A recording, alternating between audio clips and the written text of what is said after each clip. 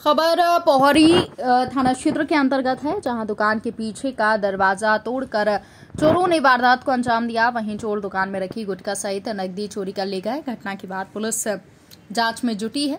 घटनाक्रम की जानकारी के अनुसार पोहरी बस स्टैंड के पास स्थित टिंका जैन की दुकान में मध्य रात्रि चोरों ने सेंध लगा दी और जब दुकानदार दुकान खोलने पहुँचा तब पीछे का गेट खुला पड़ा था, सामान बिखरा पड़ा।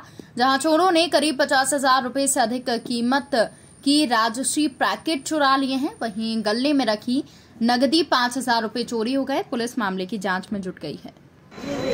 यह आपकी दुकान का ताला टूटा है।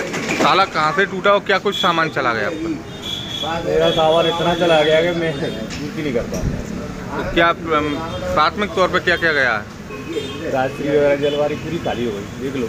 नकदी नकदी दो हज़ार रुपये तो इस गले में थे। और ये दो हज़ार रुपये तो सारा सामान चोरी हो गया। तो पीछे क्या गेट तोड़ के घुसे हैं? पीछे गेट तोड़ा है।